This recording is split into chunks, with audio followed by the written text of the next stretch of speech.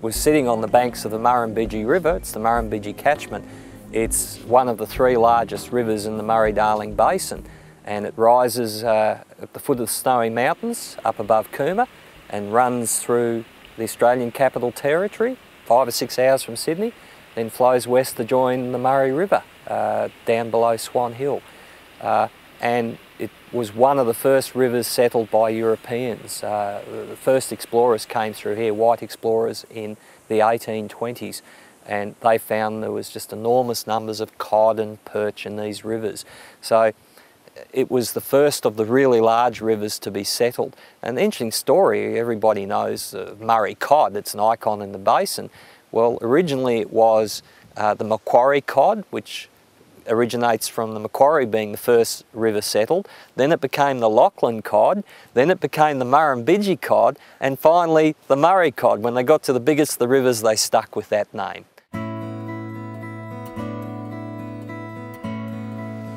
The Murrumbidgee, the first area that I actually started the research on was up here around Canberra because it was the last place where trout cod were found in the Murrumbidgee River.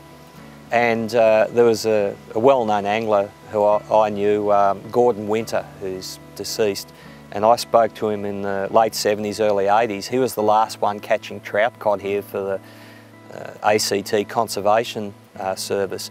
And I remember some of his stories. Uh, he grew up around Canberra within his lifetime, what it was like.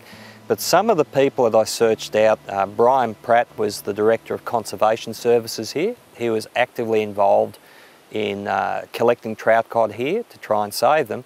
And Brian was interesting because he was one of the new breed of anglers that were applying modern fishing techniques to native fish. So in the old days, you know, you used to throw out a bardi grub on the line and try and catch cod. He was going out fly fishing for them and lure fishing for them. It was pretty radical stuff back in the 50s and 60s. Um, and Brian had gone to the trouble of speaking to people like the, the Retelicks, uh, who lived down the river from uh, Canberra. Uh, their family had been here many generations and he got some of their stories on what was here before Burrinjuck Dam. So Brian was a fantastic interview. His technical assistant, uh, Terry Rutzo, who was actually going out collecting trout cod, um, he recorded uh, catches of them almost all the way up to Tantangara Dam in the 1960s.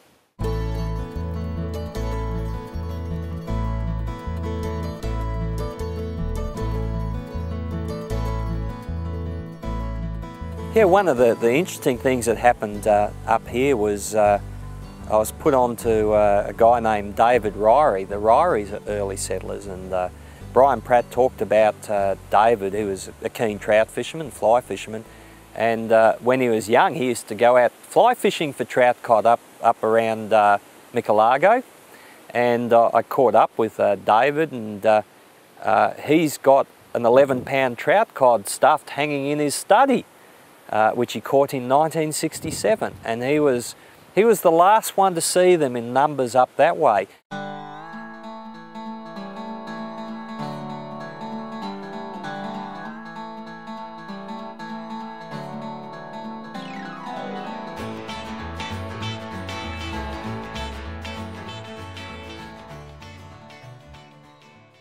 In the early days before the snowy scheme, in the 20s and 30s at Bredbo and at Adaminaby there were cod.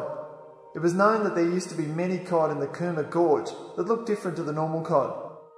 They were caught up to 12, 13 pounds. Back then we hadn't heard about the trout cod. The cod there were different, were more grey in colour, a bit blue around the head, no yellow. As I sit here today, I cannot even begin to imagine how we can sit back and let our beautiful river system be degraded to the state it is today. Gone are all the lagoons, together with all the bird life they used to support. Thousands upon thousands of river red gums dead or dying from the lack of a drink. The riverbed itself is suffering from drifting sand, which is causing loss of habitat for the fish. The fish can't live in half a metre of water.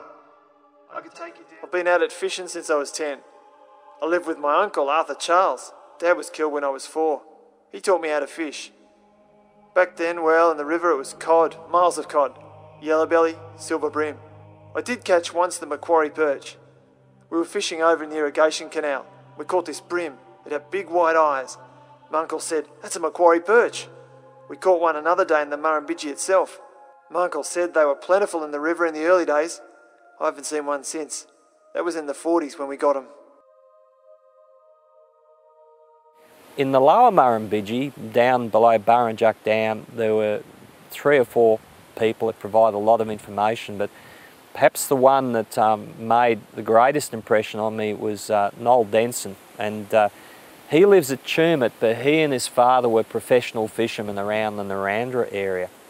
And he told the stories, his father's stories of the cod being common. They had a pet cod that lived in the river behind their house. They, they would never harm him, a big cod. Uh, the catfish, the golden perch, the silver perch.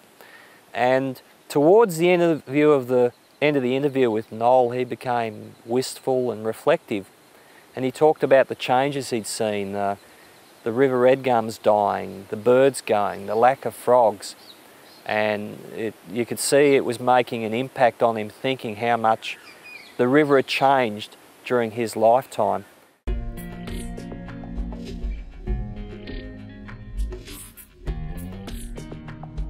And at the end, he made a comment that left its mark on me that uh, when he grew up as a boy, the Murrumbidgee, it wasn't heaven, but it was next door to it.